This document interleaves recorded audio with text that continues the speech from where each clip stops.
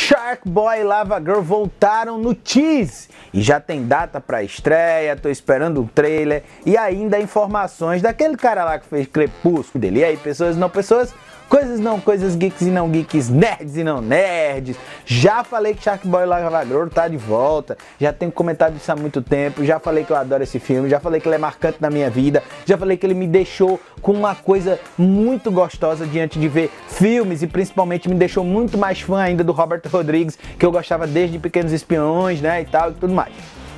Beleza. Saiu este teaser que está na sua tela e com a data de 1 de janeiro de 2021 para o lançamento na Netflix do filme, né? O filme que não é sobre Shark Boy e Lava Girl, mas se localiza no universo e tem a filha do casal. Só que uma coisa está acontecendo, cara. Ninguém sabe se o Taylor Lautner, eu acho que é assim que se fala o nome dele, não sei, se ele volta. E o povo tá tudo incomodado porque eu tô dizendo o nome do cara errado. Então agora eu vou dizer Talio.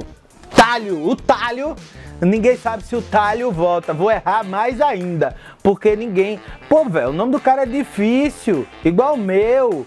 Eu não aceito quando o povo erra o meu nome. Por que o povo não pode aceitar quando eu erro o nome desse cara? Ele tá ganhando muito dinheiro, nem sabe que eu existo.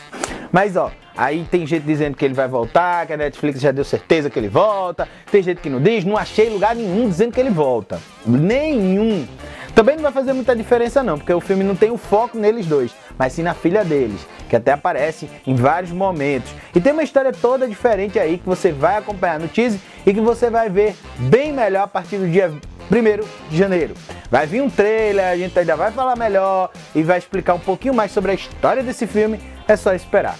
Curte por enquanto só isso aí, você sabe que a gente não pode passar o trailer por completo, então, o que tinha que passar já passou, o que tinha que falar já falou. E por favor, minha gente, chama as pessoas como você quiser. Se você é fã do cara, tudo bem, mas entende que ele não consegue dizer o nome da pessoa. Oh, é o talho, pronto.